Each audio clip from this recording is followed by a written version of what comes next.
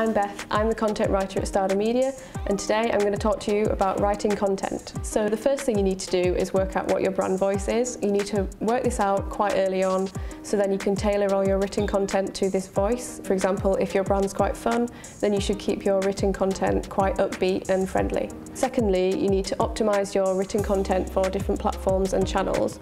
So if you were to write an email, this would be quite different to an Instagram post or a tweet. To help me with this, I've got a social media calendar on Google Sheets and this has Facebook, Instagram, Twitter and LinkedIn and I just need to fill in the copy for each one and work out what's the most suitable style for each platform.